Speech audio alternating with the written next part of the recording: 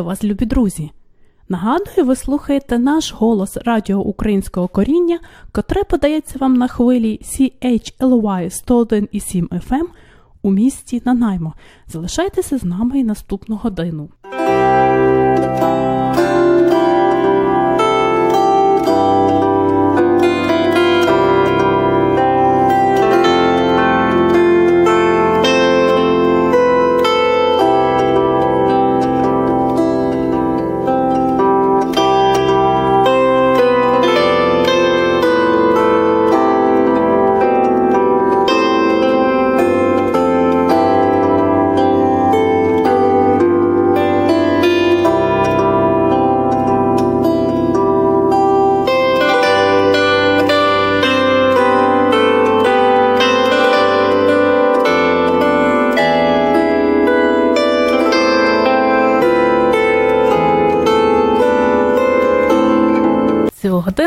розпочали з чарівної мелодії Миколи Лисенка. Я думаю, що ні для кого не секрет, що саме це за мелодія. Та це духовний гімн України Боже єдиний великий, нам Україну храни. А слова, ми спеціально почали мелодії без слів, тому що дала вам можливість згадати слова самотужки. Отже, про слова до цього гімну. Автор цих слів Олександр Кониський. І сьогодні якраз нагода згадати про нього. Отже, Олександр Кониський, український перекладач, письменник, лексикограф, педагог, громадський діяч. Найвідоміший, напевно, нам він якраз як автор слів е, цього духовного гімну Молитва за Україну. Боже великий єдиний нам Україну храни. Олександр Конейський народився 18 серпня 1836 року в Ніжині на Чернігівщині. І я думаю, що це дуже добра а, традиція е, час від часу включати цей гімн у виконанні різних хорів. От е, в даному випадку бандуриста Ярослава Джуся, тому що українці вірять, що якщо щиро молитися, то Бог обов'язково почує молитву. Боже єдиний великий нам Україну храни. Це справді щирі слова, і вони справді допоможуть українцям і Україні.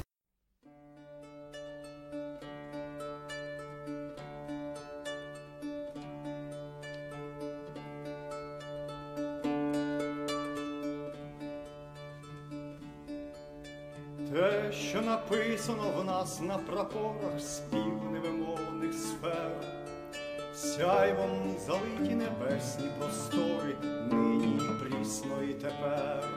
Все безумовно живе в нас і діє, і попри все, і понад все, нас надихає, в нас дихає і зріє, і у величне веде, силу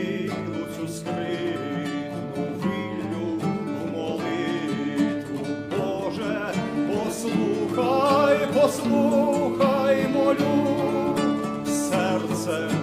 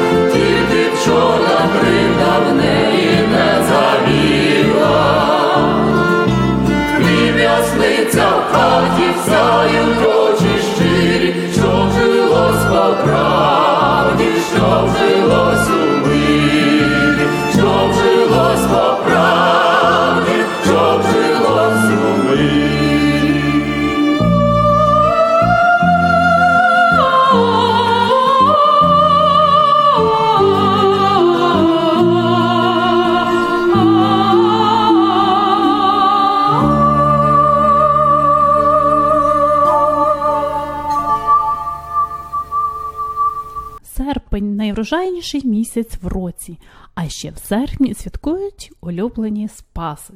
Перший спас називають медовим або маковеєм, відзначають його 14 серпня. Саме на цей день за церковним календарем припадає початок Успенського посту, який триває до християнського свята Успіння Пресвятої Богородиці. 14 серпня в Україні і в усьому православному світі відзначатимуть медовий спас. Незважаючи на очевидну назву, далеко не всі знають, що ж потрібно робити цього дня. І що робили наші предки. Зазвичай всі знання обмежуються тим, що в церкві треба святити мед, а ще що свято присвячене також і маку. Однак раніше люди виконували і безліч інших звичаїв. На Маковея люди пожинали перші плоди своєї праці, збирали врожай меду, тому і спас, що рятувалися, запасаючи. У свято медового спаса чи не найбільше уваги, крім меду, приділяється воді, оскільки спочатку свято мало тісний зв'язок із хрещенням Русі. У цей день віряни святили воду біля річок та озер, а зараз святять в церквах. Потім занурювались самі, а потім купали худобу, щоб змити гріх і бути здоровшим. Після цього у воду вже не можна було заходити, і це не випадково, адже вважалось, що до того часу вода вже почина- починала цвісти і ставала розсадником хвороб. Мед також святили у церквах, потім роздавали його всім підряд від дітей до жебраків, незнайомців. І це вважалось благородним заняттям. Цього дня допомагали людям похилого віку і вдовам по господарству. Починався засів озимих, а літнім людям і жінкам одним таку роботу було робити досить досить складно. Вдома господині робили млинці з медом і пекли булки з маком. Вважалося, перша ложка меду має магічні властивості. Хто її з'їсть, той загадує бажання, і воно обов'язково збувається. Жінки в медовий спас посилено молилися, оскільки саме цього дня отримували прощення від Бога за гріхи. У медовий спас починається Успенський піст, який триває аж до 27 серпня. І хоча він не зрівняється з Великим постом, однак теж є досить строгим, як духовно, так і тілесно. Серед прикмет на медового спаса ще досі говорять про такі. Після медового спасу бджоли перестають носити мед. На медовий спас заламуйте стільники, бо сусідні бджоли заберуть увесь мед. Говорять, що на медовий спас навіть жебрак метком поласує. І мед це сік від нічної роси, яку бджоли збирають з квітів, пахощів. На Спаса купатись, незамолені гріхи простяться. Спасівка ласунка, а Петрівка голодування. Це тому, що на Спаса уже поспівають усі овочі і фрукти. Від першого Спаса і мужик накопичить запаси. У Спаса всього в запасі і дощ, і відро, і різна погода. А ще говорять, який маковій, таке й успіння. Медовий спас має ще одну назву Маковія. У православному календарі це свято відзначають на честь семи мучеників Макавеїв. У народі сенс церковного свята був переосмислений і пов'язаний зі збором врожаю маку, який достигав якраз до середини серпня. Тому на медовий спас 14 серпня, крім меду, освячують і мак. Медовий спас також освячують букети обереги. Такі букети називають маковійчиками. Вони складаються з польових трав і квітів, з калини, соняшнику, з нігтиків, материнки, м'яти, буркуну, навіть додають колоски вівса, полин і обов'язково макові головки. Жінки напередодні свята збирали чорнобривці, освячували їх також на святковій службі, а потім додавали у воду при купанні. Подібне купання захищало від хвороб, а відвар чорнобривців допомагав при жовтяниці. Від медового спасу починалися проводи літа. За народними спостереженнями, дні ставали коротшими, а ночі довшими і прохолоднішими. На медовий спас відсідають троянди. Перші зграї птахів відлітають у теплі краї. Погода цього дня говорить про те, якою буде погода на третій спас.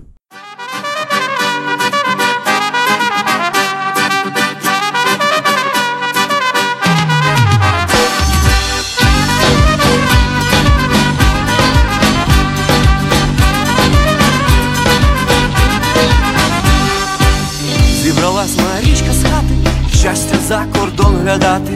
Мати плаче, няню плаче, що не може утримати. Речі свої всі збирає, каже, щастя туй немає. Наші хлопці б'ють та б'ються, в голові лиш то тримають.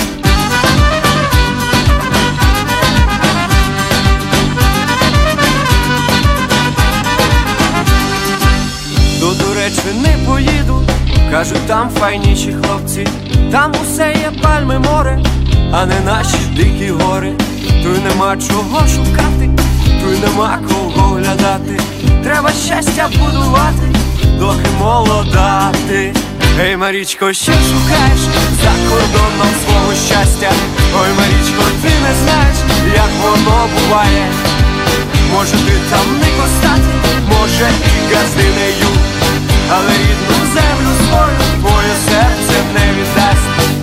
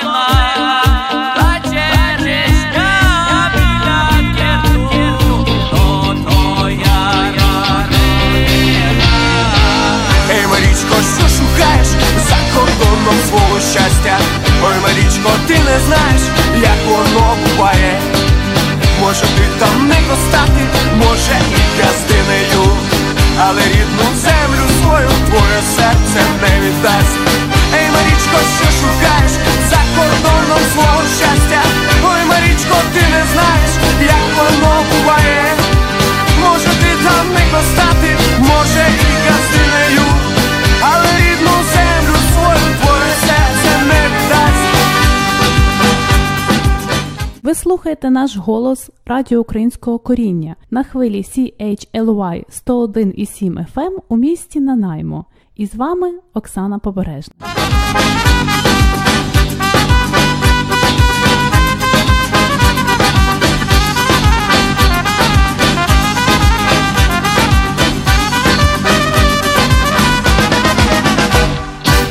Мак споживали в Україні і як харчі, і як оберіг від злих сил. І хоча широко побутувала народна приказка Сім годів мак не родив і голоду не робив. Їли його багато. Використовували мак на святвечір, додаючи до куті, готували пісні вареники і пироги на щедрий вечір, на голодну кутю у передень водохреща, а також на всілякі урочистості, що припадали на піст. На 40 святих 10 березня варили 40 вареників з маком або пекли 40 жайворонків чи 40 сорок із тіста, посипаного маком. На середохрестя, у середу посеред Великого посту, пекли з тіста, притрушеного маком, пекли хрести і їх клали по кутках на початку оранки, щоб увечері, розділивши з худобою, з'їсти. Коронкою свяченої маківки витискали хрестики на вершечку Великодньої Паски. На першу причисту Успіння Пресвятої Богородиці, яке припадає на 28 серпня, а також на головосіки, осікновення голови Івана Хрестителя 11 вересня, варили вареники і пекли пироги з маком, готували страви з маком, каші, картопляне пюре, пироги навіть і в повсякденній кухні, особливо в пісні дні. Мак в Україні використовували як олійну рослину. При цьому споживали не лише олію, але й макуху, що була смачною і поживною і смакувала до пісної їжі. Її особливо полюбляли діти. Вони бігли до олійниці, щоб випросити свіжої макухи. На свято Маковея пекли обрядові коржики, шулики, які ще називали шуляки або ламанці. Тісто готували пісне і прісне, часом навіть без соди, звідки пішла приказки. Із води та муки пече баба, шулики. Ретельно вимішували, ділили на шматочки, ще раз вимішували і розкачували коржі завдовжки в пів сантиметра. Потім робили ножем ромбовидні надрізи, щоб готовий корж добре ламався. Звідти друга назва ламанці. І пекли печі або на сковороді, змащеною олією. Перевертали, щоб корж рівномірно запікався з обох боків.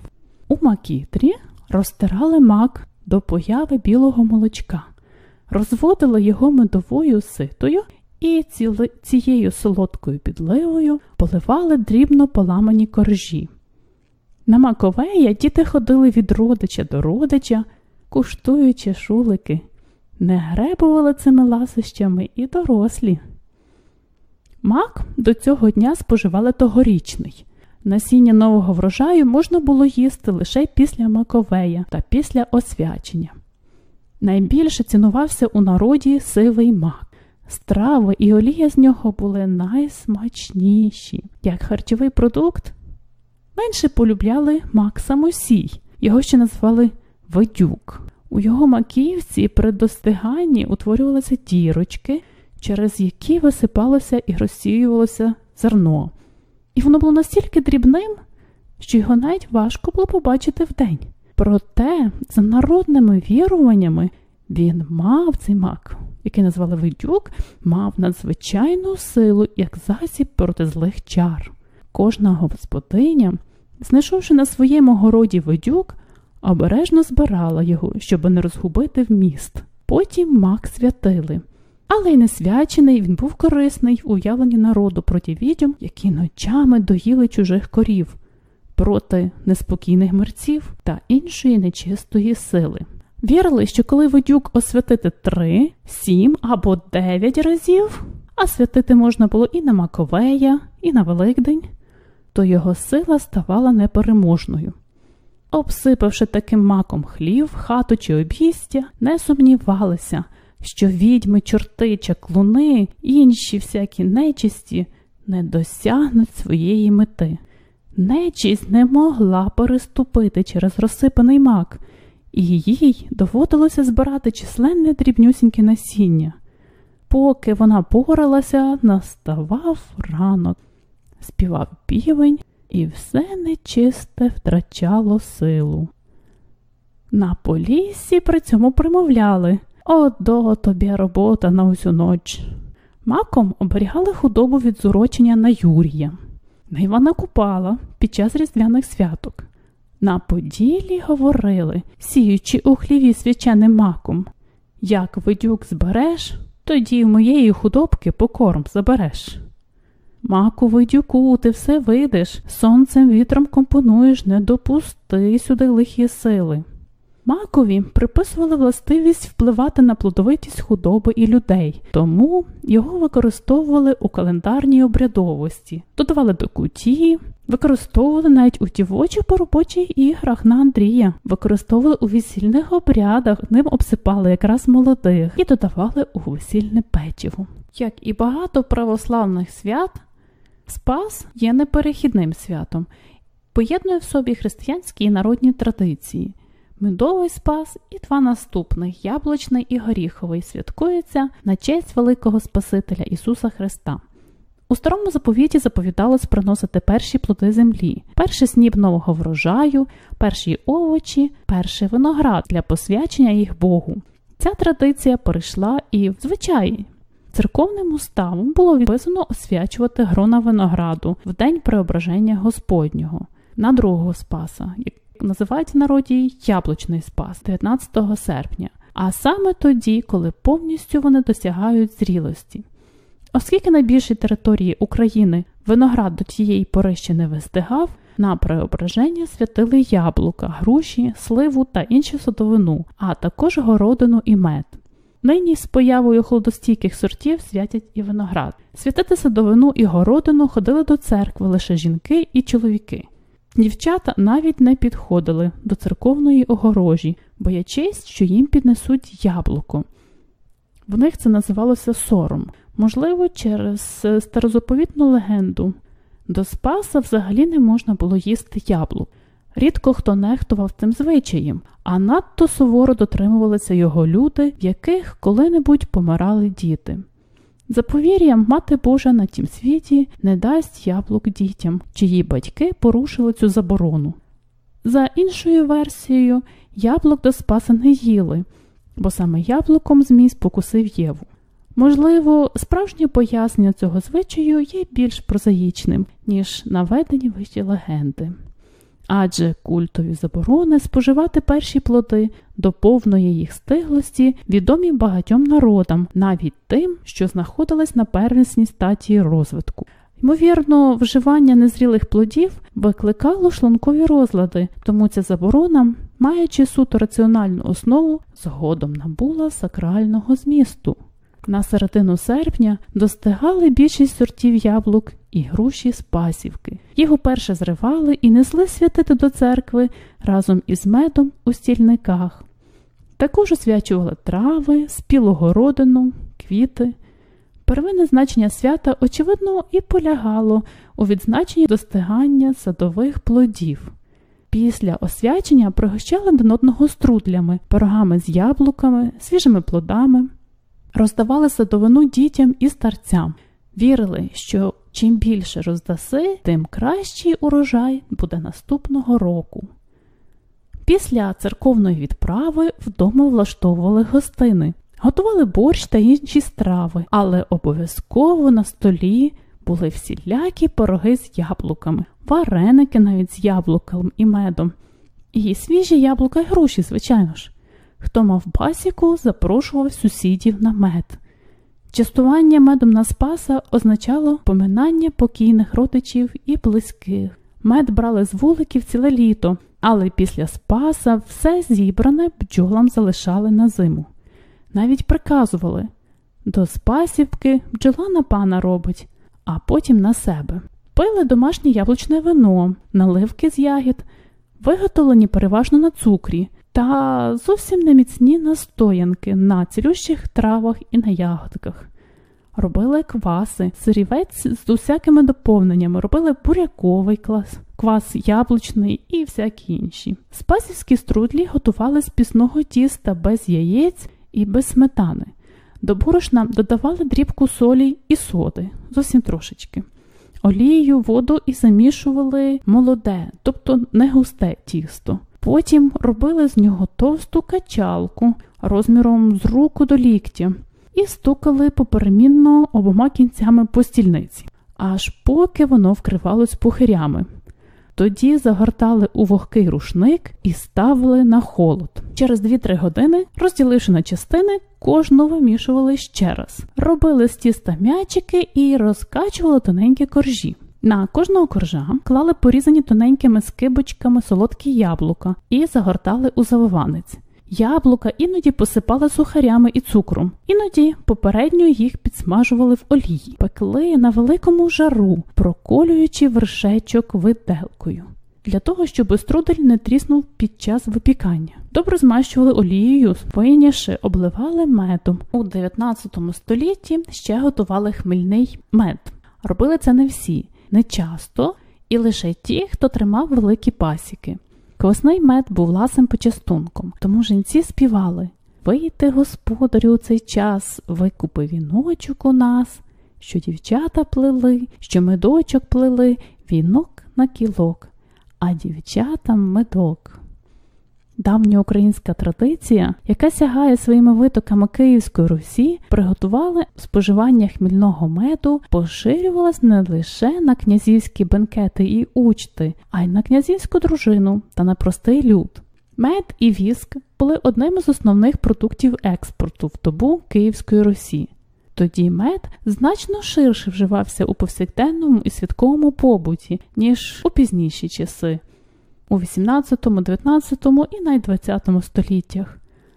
Майже при кожній садебі існували спеціальні сховища для хмільного меду, медівниці і для прісного меду, медуші, що охоронялися так само ретельно, як тік, клуня і комора. Варили мед у переварах або варницях, у великих чанах. Після охолодження його відсіджували і ставили бродити. Щоби прискорити бродіння, в окріп кидали шишки хмелю. Жоден бенкет, жодне свято чи тризна не обходилися без меду.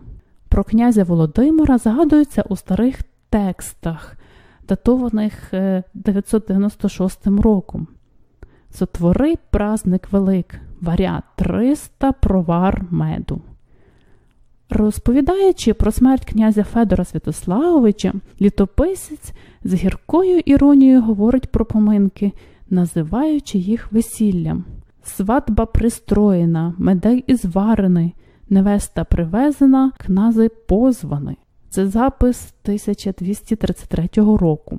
Княгиня Ольга, влаштовуючи тризну за вбитим чоловіком, це згадується 1945 року. Е, за вбитим чоловіком князем Ігорем примушувала древлян, винуватців у його смерті, пристроїти меди ноги.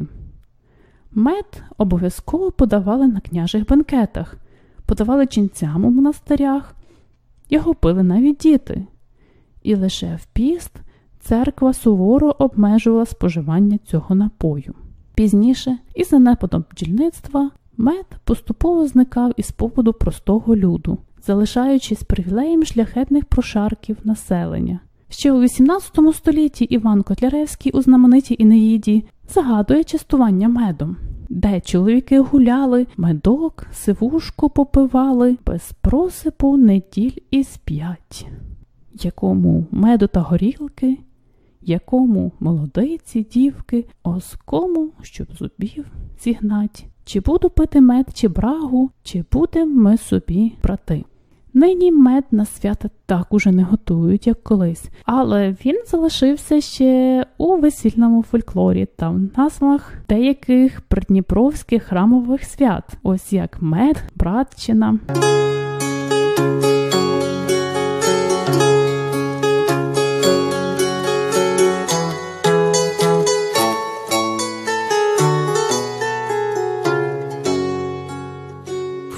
Пийте, браття, попийте, а на землю не лийте, а на землю не лийте. Напийтеся всі п'яні, не будете упрямі, веселіте, сплящіте, друг друга потішіте.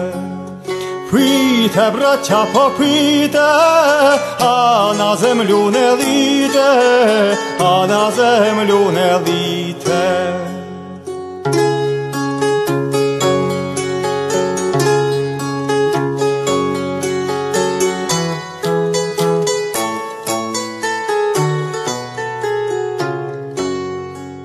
Ні очим нам тужити, пива велим налити, пива велим налити. Подпивишся горазно, пойдем потом всі разно, болить голова больно, в постелі лежать вольно. Пийте, браття, попийте, а на землю не лийте, а на землю не лийте.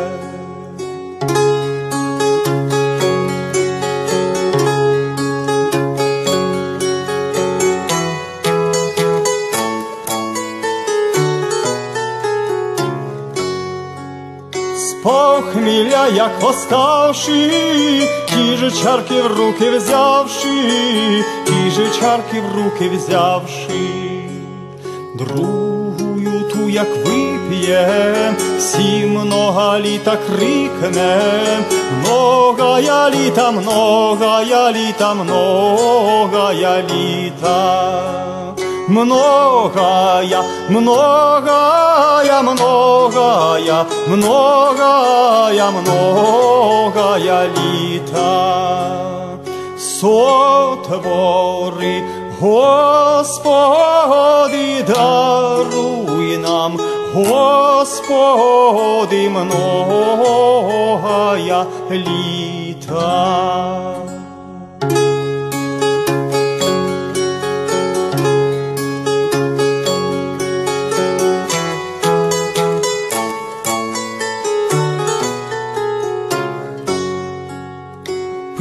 Пийте, браття, попийте, а на землю не лийте, а на землю не лийте.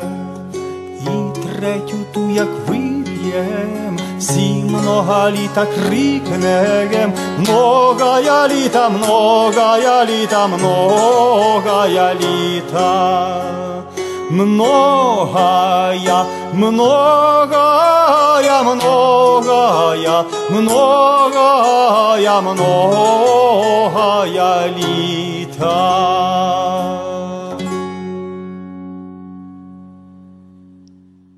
Звичай залишати на полі, на городі чи в саду хоч трохи врожаю, знайомий не лише українцям, а й багатьом землеробським народам.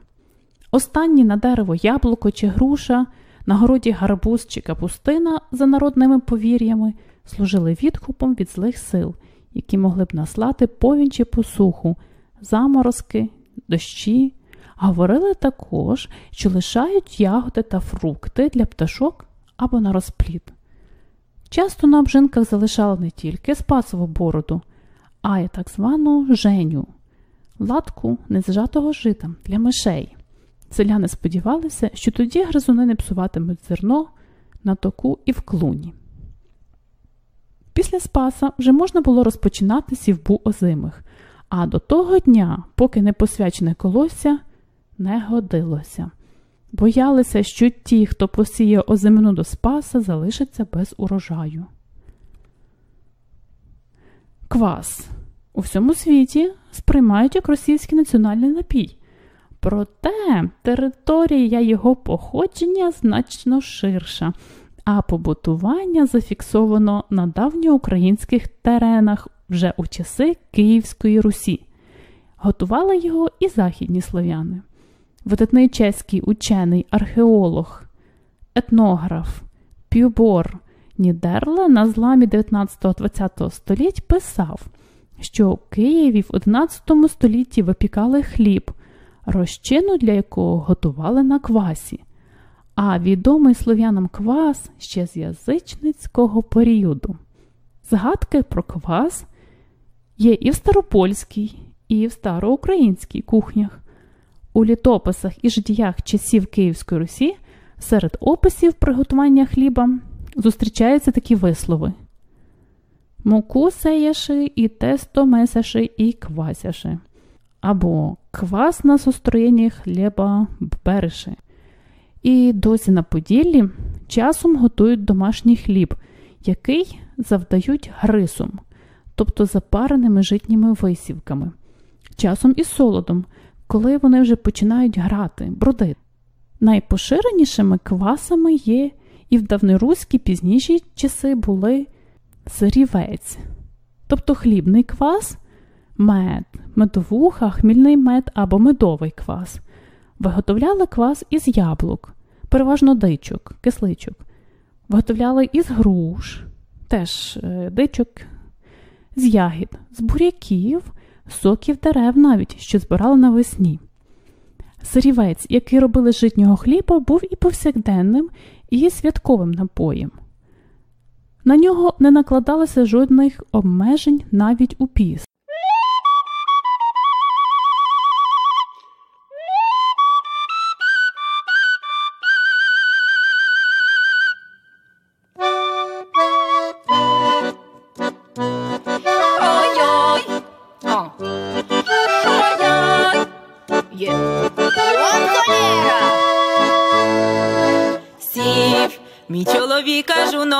Обідати. Темно вже обіду ще нема. Ой, біда. Винесла йому, що зачора лишилося. Він сердитий каже, єш сама. Ти вчора обіцяла, будуть пироги, в хаті ж не було твоєї і ноги. Трясся де весь день тебе чорти носили. Йо. Я, я вспекла та вкрали сито вороги, довелося бігти аж через логи. Весь день по сусідах сито я просила. Де ж те сито? Вчора десь поділось моє нове сито. Буду я без нього зараз добре бита. Чоловік голодний через те є сито. Де ж те сито? Буду я за те є сито добре бита. Бо ніяк без нього мені не зліпити. Ані пирогів, ні хліба чоловіку. Наспіх одягнувшись, бігла я із дому притьмом, аж колола мені щоби сито попросити. Такому зустріла майже зразу за ворітьми, провела її до та й лишилась на хвилинку. Казав мені милий, що пироги зліпила, а я не поспішила, бо не мала сил. Він мене коромислом по спині так бам-бам, потім ще й дубиною по нещасна доля, забагато знала я від тебе горя. Супер, ще моє буду знов співати, з хлопцями гуляти, з ними танцювати. Посито, посито, я біжу посито, до коми забігла, синяками вкрита, а кома не знає, всюдечки шукає, що мені робити, як пироги ліпити, без сита, без сита, що мені робити, як мені без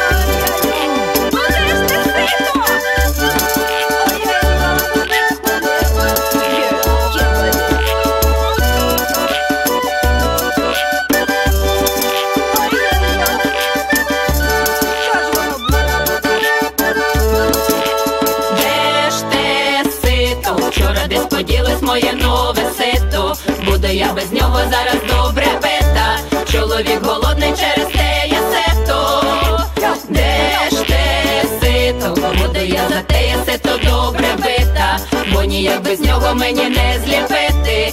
Ані пирогів, ні хліба чоловіку.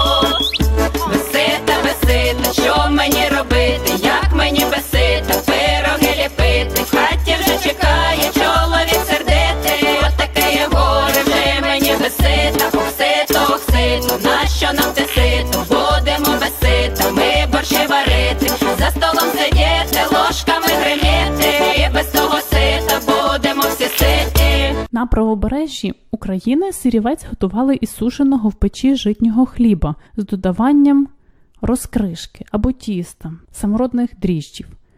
Хліб заливали окропом, Після вистигання заправляли розкришкою і залишали під полотном на декілька днів у темному, але не холодному місці. Стежили, щоб квас не перекис. Коли він був готовий, переставляли на холод. Якщо пили відразу, то відсіжували безпосередньо перед вживанням, а якщо сподівались на тривале зберігання, то перецідивши, переливали у чисті, випарені пляшки і міцно закорковували. Іноді в кожну пляшку для смаку клали по кілька родзинок або ягід брусниці, журавлини чи калини. Ще одним зі способів, давнім таким способом приготування квасу срівцю е, був такий от спосіб. Житнє, ячне або вівсяне зерно перетворювали на солод, даючи йому прорости. Потім солод сушили, майже смажили в печі і додавали в діжку із запареними житніми сухарями. Після того, як запарка охолоне, вкидали запарені шишки хмелю або саморобні дріжджі. Такий квас мав більш виражений кисло-солодкий смак і разом з тим і гострий смак. Такий спосіб е, досить поширений був на Полтавщині, Чергівщині, навіть Київщині, а на півдні до сирівцю додавали сушені мелаї, замішані на хмільній воді хлібці із пшоняного, кукурудзяного чи житнього тіста. Готували сирівець у дерев'яному посуді, у діжечках або навіть у відрах. Меншу кількість запалювали в керамічних глеках, не в металевих, ні в якому разі. Цукру не додавали хіба перед подачею на стіл до ласощів. Але частіше облагороджували напій шматками медових стільників, які клали у глечик безпосередньо перед вживанням. Готували сирівець протягом цілого року, але найбільше влітку, коли він служив не лише для пиття, а для закваски борщу замість звичного бурякового квасу. Е, на той час запаси тогорічних буряків уже закінчувалися, а нового врожаю ще не було. Із сирівцем готували відомий холодник. Буряковий квас вживали для пиття рідше, ніж сірівець, е, тому що його головним призначенням таки було служити рідкою основою для червоного борщу. А до речі, ви робите якийсь квас буряковий чи сірвець? Квасом також заправляли тертий хрін. Він був компонентом заправок із тертим чесником і олією до прісних коржів.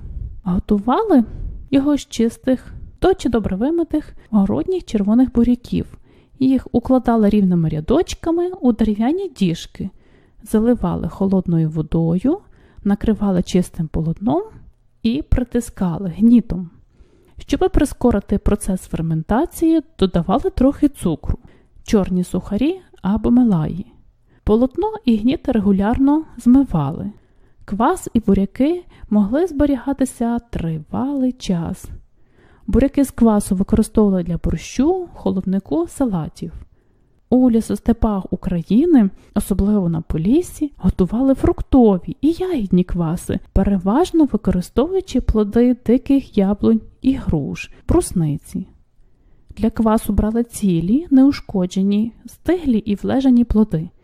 Їх мили всипали у підготовлену, вимиту і випарену діжку, встелену смородиновим і вишневим листям і запареною вівсяною соломою. Заливали холодною водою, пригнічували і давали фруктам забродити.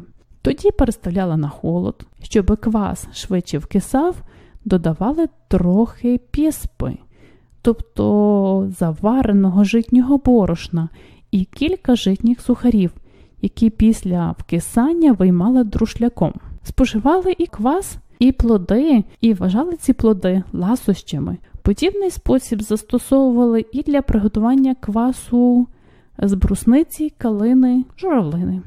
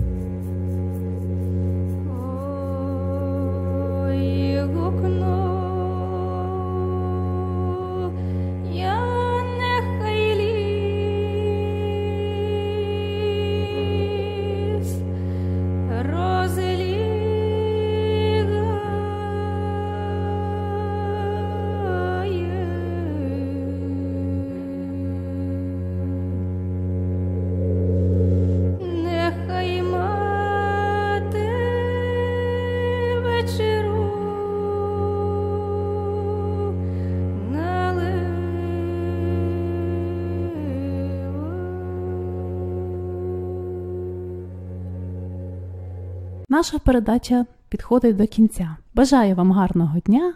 До зустрічі наступної середи о цій же годині, 11 ранку до першої дня. Нагадую, ви слухали наш голос Радіо Українського коріння, яке подається вам на хвилі CHLY 101,7 FM у місті Нанаймо. З вами цю годину була я, Оксана Побережник. Усього доброго!